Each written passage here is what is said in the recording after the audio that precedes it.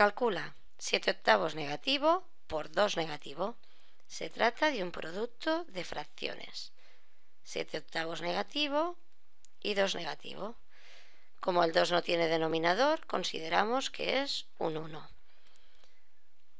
El producto de dos fracciones es una nueva fracción, donde el numerador se obtiene multiplicando los numeradores y el denominador multiplicando los denominadores.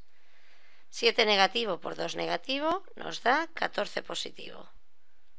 Y 8 por 1, 8. Si ahora simplificamos, el 14 es 7 por 2 y el 8 es 2 por 2 por 2. Tachamos un 2 del numerador con un 2 del denominador y nos queda 7 cuartos.